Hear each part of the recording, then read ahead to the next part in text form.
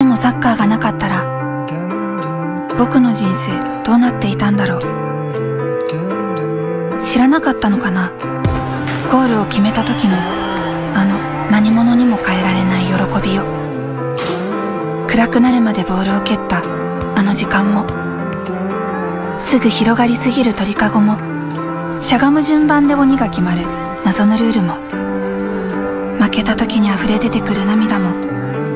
努力が報われない苦しさも。きっとサッカーで仲良くなったあいつらとも友達になれていなかったと思う。